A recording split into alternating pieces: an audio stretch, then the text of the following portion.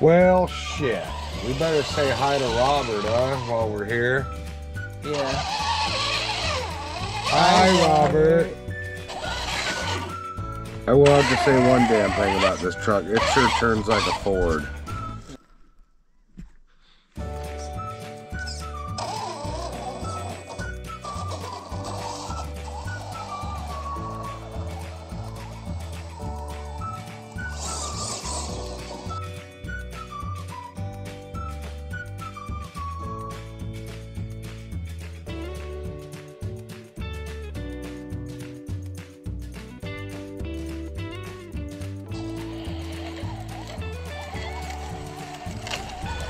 I sure do miss our dog.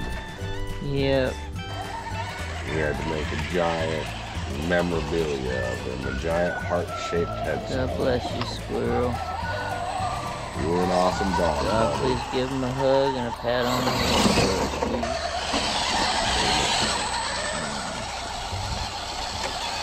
Least we could do is name the town after him.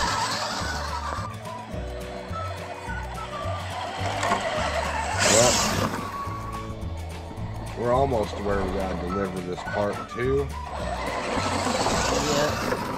I hope they got the cash on hand. I hope so. A lot of hard work getting it there, that's for sure. Right? It ain't light. that's for sure.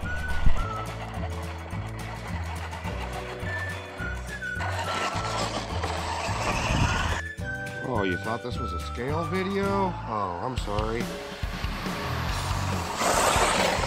Not anymore. Special delivery. Now pulling up with the new transmission seal. What you're staring at is a 727 transmission out of a 74 Overland Class A motorhome under a 60s model Dodge truck. Oh yeah, I can't wait to get the body work done on this damn thing. Look at that nasty. I'm not doing it here. Yep, this is just mechanical. Do the body work later. Anyway, lube the seal with some transmission fluid. Oops. Okay, that's perfect. Yeah. That's just soaking wet. Perfect. Alright, so I made a little puddle here on my little thing. I'm just cleaning up when I'm done, obviously. In case you're wondering what I'm fighting with. That's what I'm doing. On my second glove now. Hopefully you guys can see that. Oh yeah, it's perfect. Flip the seal over in the puddle of shit. Make sure there's no dirt on it. Wipe it off a little bit. Some on the inside too. Make sure it's all nice and shiny. That? Okay. Nice. Slide it over the asshole here. Don't be scared. And then once you get it kind of square in there, whoops. Damn it.